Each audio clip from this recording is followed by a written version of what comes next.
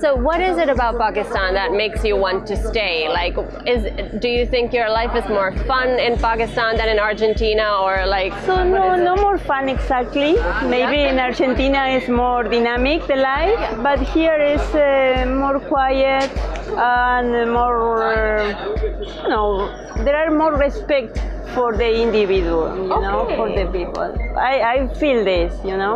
In in And- what sense? Can you give me like an example? Uh, for example, for example, one history in my life is uh, sometimes I go with the car. One day I, I, I went with the car and uh, my car is stopped, broken. Okay. And simply two people come in, saw to me and they come back and help me Yeah. and repairing my car, for example. No? Yeah, yeah. Maybe in other country the people rob to you or, or, or other things, but no exactly this uh, kind of, of Kindness.